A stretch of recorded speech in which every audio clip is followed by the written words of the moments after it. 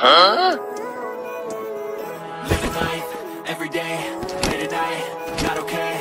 All I want, and I pray, all I need are some better days. Fuck me, looking in the mirror, so foggy, but I've never seen clearer I don't really think anyone can save me, and honestly I'm not really sure I want saving. I like to be my own worst enemy. There's no risk if you don't try at anything. So I'ma just keep trying. Everything See you in the next life, have to be a better me. I don't think that my head's on straight. Gotta flip it and grip it and go and get an x-ray.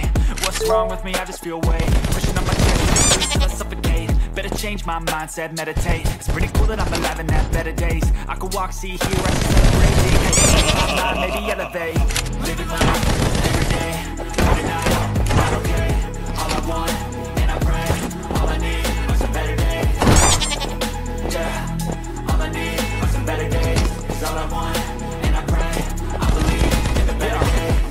between a rock and a hard place. Do I work hard, or live at my pace? You